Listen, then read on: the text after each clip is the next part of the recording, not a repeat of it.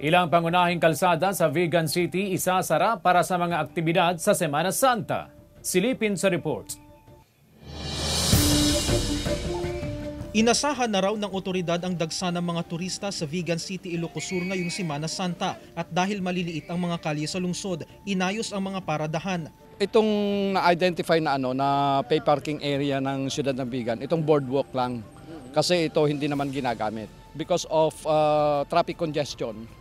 Ah, kailangan po natin kasing i-decongest yung mga main thoroughfares ng Bigan.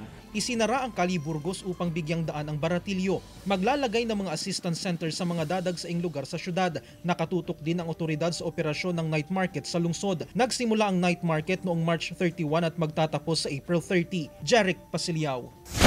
1 North Central Luzon.